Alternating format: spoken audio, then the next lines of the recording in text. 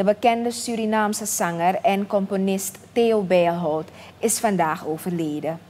Bijlhout, die zijn loopbaan in de jaren 50 als artiest begon, heeft door de jaren heen zijn sporen in de Surinaamse muziekwereld verdiend door onder meer deel uit te maken van verschillende Surinaamse muziekgroepen.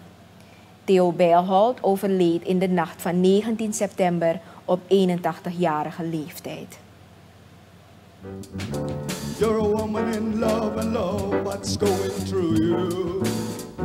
The need inside you, I see it showing. Oh, I see it inside you, baby, don't it growing. Are you happy, my baby? En de manager van Apollo kwam naar me toe en zei: Jij moet niet in New York blijven, jij moet naar Los Angeles gaan. Jij moet Las Vegas dingen doen, jij moet nachtclubwerk doen en zo. Henk van Vliet, vriend van de overleden Theo Beelhout, spreekt van een waardige nalatenschap.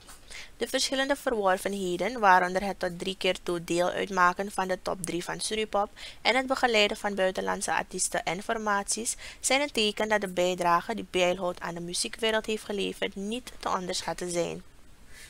Een man die leefde in een tijdperk toen wij begonnen met live shows in Suriname in Theater Thalia. En dan hadden wij de grote artiesten op de planken van die tijd. Een Oscar Harris, Max Nijman, Ruud Seedorf, Jules Fullington, Erwin Bouterse, Etto Setny en de grote man Mr. T.B. Theo Bijlhout.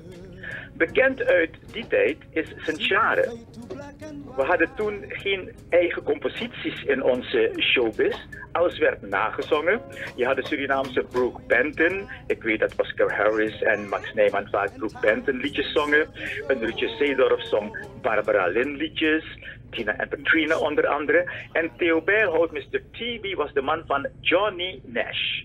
Hij zong uitsluitend Johnny Nash liedjes die tijd. En zijn grote succes was Get My Head, Give Me My Coat, I'm Leaving. Een van de toppers van Johnny Nash.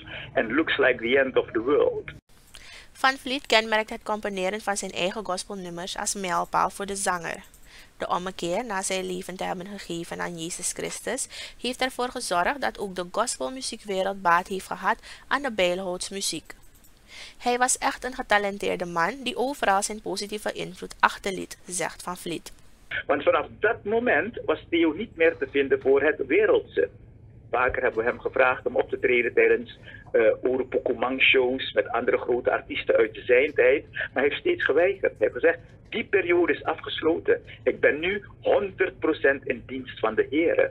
En dat heeft hij ook waargemaakt met al de gospelconcerten die hij heeft gegeven. Ze waren altijd een groot succes. En Theo Bijlhout was daar dan niet als artiest, maar als kind van God om het woord van de Heer te brengen naar de gemeenschap. Van Vliet onderstreept de nalatenschap van Theo Bijlhout en zegt dat mede daardoor hij zal blijven voortleven in de Surinaamse muziekwereld.